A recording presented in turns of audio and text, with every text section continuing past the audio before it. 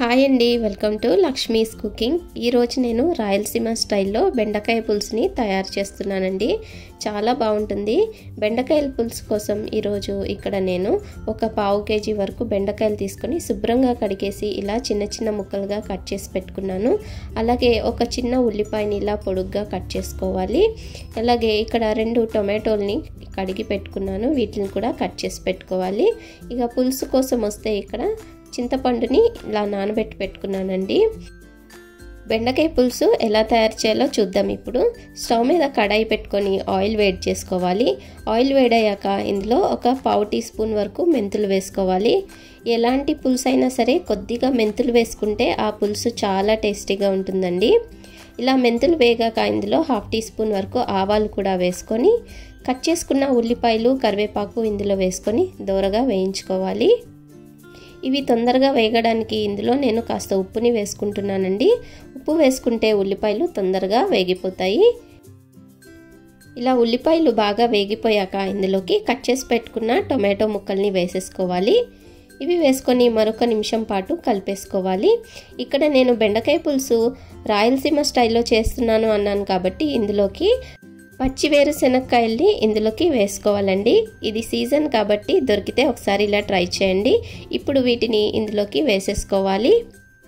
ఇవి ఉడకడానికి కాస్త టైం పడతాయి కాబట్టి టొమాటోలు వేసుకున్న వెంటనే వేసేసుకుంటే ఆ తేమకి ఇవి కూడా మగ్గిపోతాయండి. ఇప్పుడు ఇందులోకి పావు టీ స్పూన్ పసుపు అలాగే ఒక టీ స్పూన్ కారం వేసుకోవాలి. ఉప్పు ఆల్రెడీ మనం యాడ్ చేసుకున్నాం కాబట్టి ఇప్పుడు యాడ్ చేసుకోవాల్సిన అవసరం లేదు. ఇప్పుడు ఇదంతా ఒకసారి మిక్స్ చేసేసుకొని సిమ్లో పెట్టుకొని మూత పెట్టేసి ఒక పది నిమిషాలు మగ్గించుకోవాలి. పది నిమిషాల తర్వాత మూత తీసి చూద్దాం చూడండి. ఇప్పుడు వేరుశెనగ గుళ్ళు అనేవి మనకి ఒక ఫిఫ్టీ పర్సెంట్ వరకు ఉడికిపోయి ఉంటాయండి.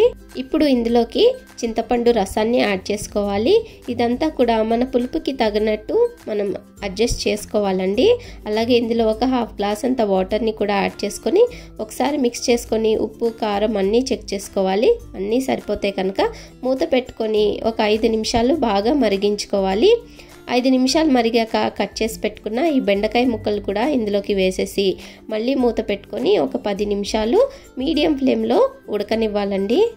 పది నిమిషాలు అయితే కరెక్ట్గా సరిపోతుంది. బెండకాయలు అనేవి చిన్నగా కోసుకున్నాం కాబట్టి తొందరగానే ఉడికిపోతాయి. అలాగే ఇక్కడ నేను ఇదంతా మగ్గిపోయాక ఒక హాఫ్ టీ స్పూన్ వరకు పులుసు పొడి యాడ్ చేసుకుంటున్నానండి.